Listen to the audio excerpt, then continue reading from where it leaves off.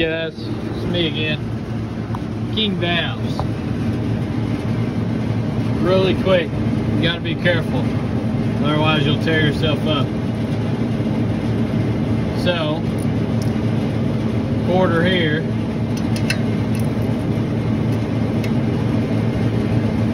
Five sixteenth here. Two ways this goes.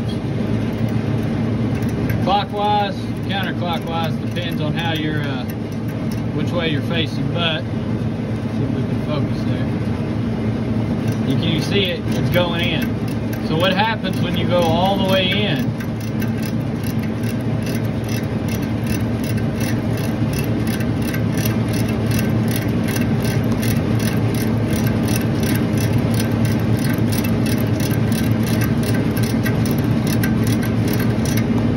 bam, it stops. You're closing off the valve. So in this case, this is my suction, right? It's a semi-hermetic compressor. So this is my suction here. This is my discharge. Uh, you're closing off the valve completely.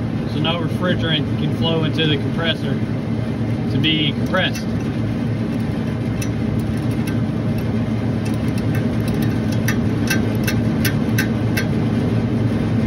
Also, when you do that, nothing's going to come out of your your uh, your port here. There's no Schrader core in here, so that's why you got to be careful with king valves. All right, and we're going to open this back up.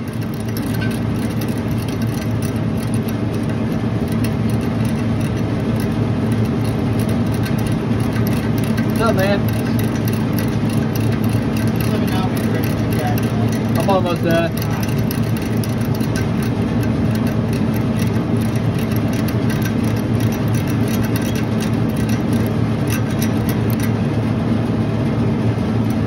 That's all the way open. The valve's completely open and you're gonna let refrigerant flow to the compressor where it can be compressed. Nothing's gonna come out of the service port here. Um, and then let me correct myself, when this is all the way closed, you're still going to have refrigerant come out. So, when you take these caps off, you need to make sure that the, uh, the valve here is, is all the way out.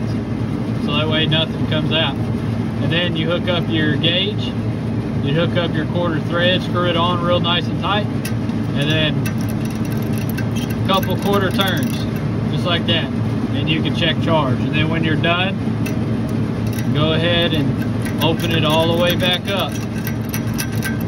Then you can take your hose off. Put your cap on and you can leave it just like this. All the way out. Put your cap on and you can leave it all the way out.